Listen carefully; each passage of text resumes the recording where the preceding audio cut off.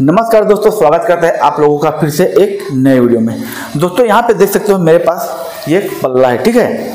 जो चौखट में लगा है, ये गेट का पल्ला है है ना?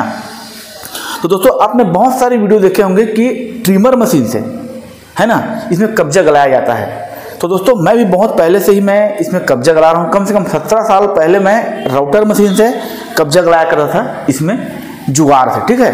तो सिंपल सा वही जुगाड़ मैं आपको आज इस वीडियो में बताने वाला हूँ। भले ही आपने कई बार कई जने के वीडियो देख लिए होंगे लेकिन इस वीडियो को भी एक बार ज़रूर देख लेना। हो सकता है मेरे इस वीडियो में आपको कुछ नया सीखने को मिल जाए या आपका कहीं भी कन, कोई कन्फ्यूज़न हो वो दूर हो जाए ठीक है दोस्तों? तो वीडियो को पूरा देख लेना यार ठीक है? क्योंकि ज़बरदस्त जानकारी देने वाला हूँ इस वीडियो में और इसका हम जुगाड़ बनाने वाला है कब्जा गलाने के लिए। तो वीडियो चालू करने से पहले आप हमारे चैनल पर नए हो तो चैनल को सब्सक्राइब कर लीजिए, साथ में दबा दीजिए बेल आइकन घंटी को वहाँ पे और पे प्रेस कर लीजिए, क्योंकि मैं आपके लिए इस तरह का वीडियो बनाते रहता हूँ। चलिए, चालू करते हैं। तो दोस्तों, देख सकते हो, यहाँ पे है हमारे पास एक ट्रिमर मशीन, ठीक है? सबसे पहले आपको क्या करना होगा ट्रिमर मशीन में, जो इस टाइप से आपको, आपके पास जो बीट आता है, आप ट्रिमर मशीन खरीदते तो ये वाला बीट आता है या फिर नहीं आता है तो आपको खरीदना पड़ता है, ठीक है? इस टाइप का बीट जो है तो इसको आपको लगाना होगा, देख सकते हो। और अच्छे से इनके पनों से इनको अच्छे से टाइट कर लेना है, ठीक है? हमने इसको टाइट कर लिया अच्छे से, ठीक है दोस्तों? अब क्या करेंगे दोस्तों, ये ऊपर का जो मुंडी है ना इसका, सिंपल से हम इसको लगा देंगे इस टाइप से, ठीक है? उसके बाद इसको आप हल्का टाइट कर लीजिए। देखिए टाइट करने वाला है। मेरा एक साइड के इधर घूम गया है यार। दोनों साइड रहता है ना तो मैं एक ही साइड से काम चलाता हूँ। उसके बाद आपको क्या करना है, ये आपको कब्जा लेना है, ठीक है दोस्तों? कब्जा लेने के बाद सबसे पहले आपको कब्जे को यहाँ पर रखना है, ठीक है? उसके बाद इसको अप डाउन करके आपको स्ट्रेट करना है। तो हम क्या करेंगे, कब्जा का जो अपना यहाँ मोटाई है, देख सकते हो। यहाँ जो मोटाई है, उसको हम सिंपल सा एक पट्टी छोड़ेंगे और पूरा गला देंगे इसमें, ठीक है? हम इसमें चौखट में खचका नहीं लगाएँगे। सिंपल से हम एक पल्ले में ही खचका लगाने वाला है, मशीन है तो है ना? तो ये एक पट्टी जो है, हम इसको सिंपल से छोड़ देंगे इस टाइप से। तो आप इस टाइप से इसमें रखिए और इसको एडजस्ट कीजिए। इसको बराबर रखना है ना, कब्जा को इस टाइप से। और इस टाइप से एडजस्ट करके देखिए, मैंने एक पट्टी यहाँ पर बचा दिया इसको, ऊपर का। एकदम किनारे से बचाना है ना दोस्तों आपको? या इधर से नहीं रखना, इधर से ऐसा करके नहीं बचाना है। यहाँ से जहाँ पे अपना राउंड है ना, जो बेरिंग लगा हुआ है, वहाँ से आपको इसको इस तरह से करना है। और यहाँ पे देख लीजिए, इसको टाइट कर दीजिए, इतना सेट करके देखिए, मैंने एक पट्टी फिक्स यहाँ पे छोड़ा हुआ है ना? अब मैं इसको टाइट कर लेता हूँ। इसको अच्छे टाइट कर देना ताकि ये इधर उधर न खसके। अगर ये कम ज़्यादा खिसक गया तो फिर गड़बड़ हो जाएगा। तो सिंपल सा एक बार और चेक कर दो मैं टाइट करने के बाद। तो यहाँ पे देख सकते हो दोस्तों, अच्छे से ये मेरा फिक्स है ना? एक पट्टी मैंने बिल्कुल छोड़ दिया हुआ है यहाँ पर तो ये मेरा इसका काम हो गया दोस्तों, ठीक है? अब मैं प्लाई की तरफ़ चलता हूँ और इसका फर्मा बना के आपको दिखाता हूँ। तो दोस्तों, देख सकते हो, यहाँ पे मैंने एक बारह एम का प्लाई ले लिया है, ठीक है? मेरे पास 6 एम का नहीं है, आप चाहो तो 6 एम भी ले सकते हो, आपके पास है तो मेरे पास बारह एम उपलब्ध है तो बारह एम लिया हूँ, ठीक है? और इसकी जो चौड़ाई है, वो लगभग पौने छः इंच के आसपास है मतलब पाँच सूत पाँच इंच छः सूत है ना? आप पाँच इंच का भी ले सकते हो तो भी काम चल जाएगा। ठीक है, इसको मैं अब चौड़ाई को नहीं काटूँगा, इतना ही रखूँगा, ठीक है दोस्तों? तो सबसे पहले अपन क्या करेंगे, यहाँ पे हम एक तीन इंच पे मार्किंग करेंगे, ठीक है दोस्तों? तीन इंच पे मार्किंग करने के बाद इसको सीधा मार्किंग आपको घुमा देना है। गुनिया से, है ना? तो आप हाफ़ मार्किंग कीजिए यहाँ तक। ये इस टाइप से है ना? उसके बाद दोस्तों, आपको ट्रिमर मशीन लेना है इस टाइप से। और यहाँ पे देख सकते हो, ट्रिमर मशीन एक पकड़ने का तरीका रहता है है ना? तो ये जो, देखिए, ये जो इसमें साफ्ट वगैरह और लगता है कुछ कुछ है ना? उसके लिए टाइट करने के लिए रहता है। हम सिंपल मशीन इधर ही को ऐसा पकड़ते हैं, जितने भी ट्रिमर मशीन होते हैं जनरली इधर रहता है ना? कोई दूसरा रहता होगा तो मुझे नहीं मालूम। अब क्या करेंगे दोस्तों? सबसे पहले हम ये अगल बगल वाले साइड को नापेंगे, है ना? तो ये अपना पीछे है। तो सीधा सिंपल आपको ब्लेड को सीधा इस टाइप से घुमाना है। आपको देख सकते हो, ये ब्लेड का आपका, ये जो धार पोर्सन है, उसको, है ना? और यहाँ से आपको यहाँ तक को नाप लेना है इस टाइप से। तो मेरे दोस्तों, देख सकते हो, यहाँ पे एक इंच साढ़े चार फुट आ रहा है ना, लेकिन मैं एक इंच पाँच फुट में इसको भी ले लूँगा। ठीक है दोस्तों? और सेम टू सेम आपको इधर को भी नापना है है ना? देखिए, इधर भी मेरा एक इंच पाँच फुट है ना, साढ़े चार फुट आ रहा है, लेकिन पाँच फुट में हम इसको ले लेंगे। तो सिंपल सा हम एक इंच साढ़े पाँच फुट और एक इंच साढ़े पाँच फुट। तो कितना हो गया? आ, एक एक दो इंच हो गया और पाँच पाँच दस। मतलब तीन इंच दो फुट हो गया। ठीक है दोस्तों? तो सिंपल सा हम ये वाले मार्किंग से यहाँ से हम तीन इंच दो फुट एक मार्किंग करेंगे। ये इस टाइप से है ना?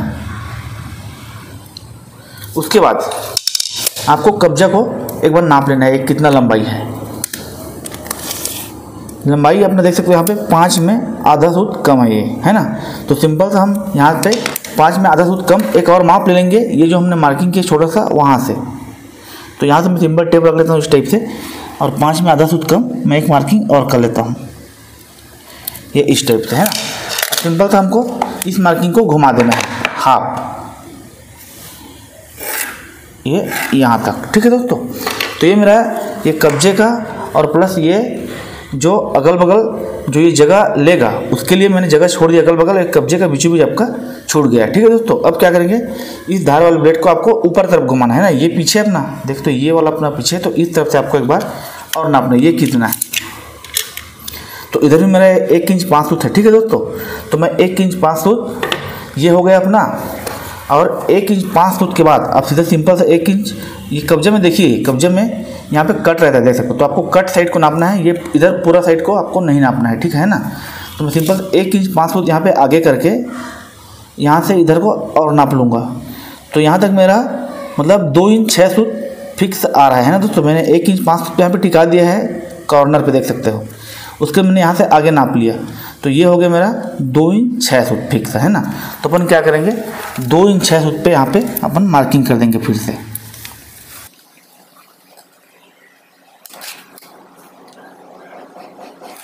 तो ये देखो दोस्तों, मेरा दो इंच है तो मैंने मार्किंग कर दिया। अब आपको इसको प्लाई की सहायता से इसको घुमा देना है ना?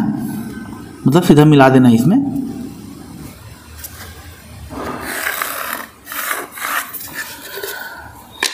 तो ये देखो दोस्तों, मैंने इसको मिला दिया, ठीक है? अब हमको क्या करना होगा, इस बीच को हमको काट के निकालना होगा, ये वाले पोर्शन को पूरा।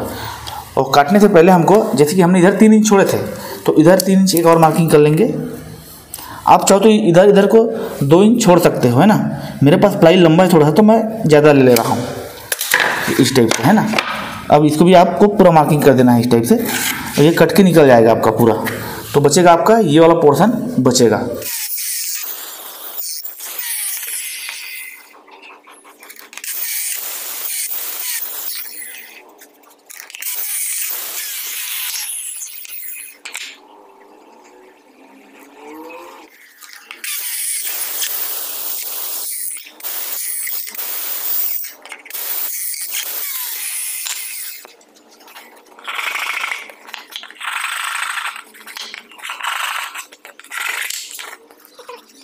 तो दोस्तों, देख सकते हो, हमने यहाँ पे कटिंग कर लिया जो अपना ट्रिमर का फर्मा है उसको, ठीक है दोस्तों? अब चलिए इसको अंदर अंदर आपको बता देते हैं। तो ये अंदर अंदर आठ इंच दो सूत है। तो आठ इंच दो सूत कैसे है दोस्तों? हम एक बार समझा देता हूँ। पे पाँच में आधा सूत कम जो है अपना कब्जे का है, ठीक है? और बाकी जो ट्रिमर का प्लेट का है, एक इंच पाँच सूत, एक इंच पाँच सूत के हिसाब से ये तीन इंच दो सूत हो जाता है ना? अब इधर से देखते हैं तो इधर दो इंच छः सूत है ना? तो एक इंच पाँच सूत अपना किसका है? ट्रिमर का प्लेट का है और बाकी कब्जे है अपना। एक इंच आधा सूत, है ना?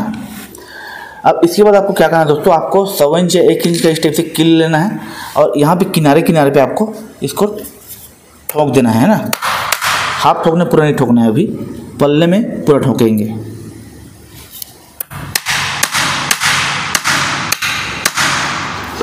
तो ये हमने ठोक दिया दोस्तों।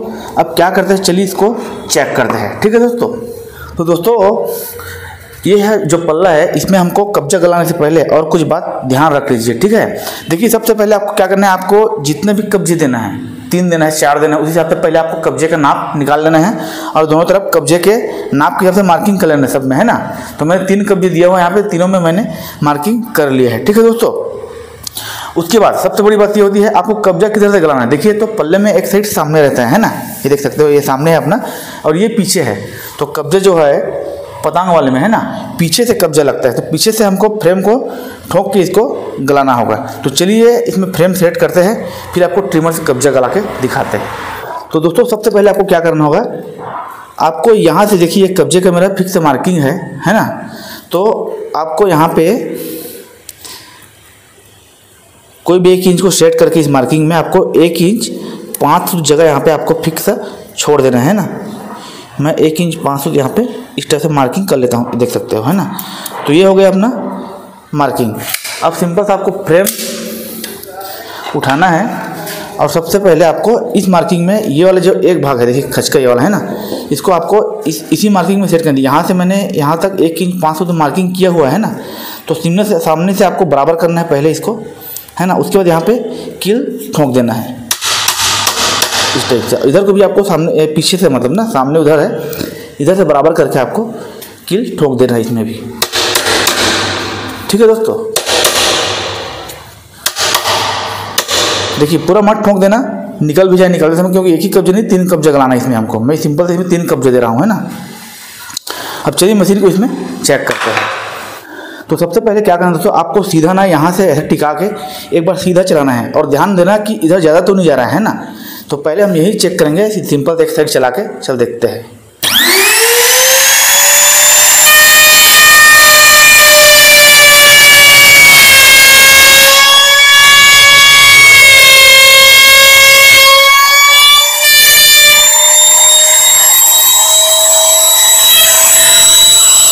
तो यहाँ पे देख सकते दोस्तों मेरा परफेक्ट तरीके से बिल्कुल फर्मा के हिसाब से यहाँ पे मेरा मशीन जो है चल रहा है और यहाँ पे आगे बिल्कुल रुक गया। इधर से आगे नहीं जाएगा, है ना? इधर यहाँ जाके टिक गया अब। सिंपल से आपको इसी को धीरे धीरे आराम आराम से करके पूरा इसको खचका लगाना है। चलिए अब लगाते हैं।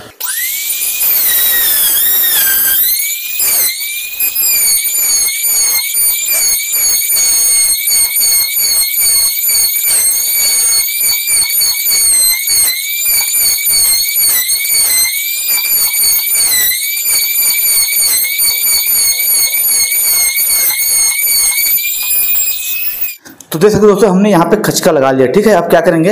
हल्का हल्का कहीं पे भी आपको थोड़ा बहुत मान नज़र आता है तो आप हल्का से इसको चौरसी के माध्यम से इसको हल्का से बराबर कर सकते हैं, है ना?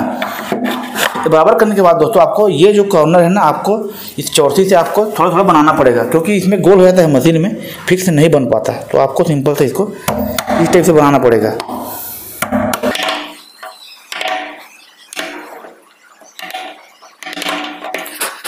तो देख देखिए दोस्तों, मैंने यहाँ से कोने कोने को साफ़ कर दिया, ठीक है? अब चलिए इसमें कब्जे डाल के देखते हैं।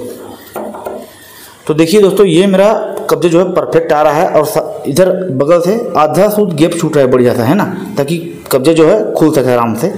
ये देखिए, और यहाँ जो मेरा पट्टी है, यहाँ इधर कोने से देख सकते हो आप, बिल्कुल फिक्स है इस पल्ले के बराबर है ना? इस कॉर्नर के पीछे साइड से। तो देखिए दोस्तों, कितना बेहतरीन तरीके से ये कब्जा गल चुका है, इसको हम डबल करके देखते हैं। तो ये देखिए यहाँ पे मेरा एक पट्टी जो है, बिल्कुल एक पट्टी ऊपर है यहाँ कोने से। इधर तो डूब गया हमने लेकिन यहाँ से जो दिख रहा है, वहाँ से एक पट्टी बिल्कुल ऊपर है। इधर से भी बराबर है। ठीक है दोस्तों? तो दोस्तों, इसमें तो हमने कब्जा गला लिया, बाकी सब में गला लेते हैं, कब्जा लगा लेते हैं, फिर आपको दिखाते हैं। तो दोस्तों फाइनली मैंने ये तीनों कब्जे इसमें गला दिए और इसमें स्क्रू भी जाम कर दिए। ठीक है, देख सकते हो यहाँ पे।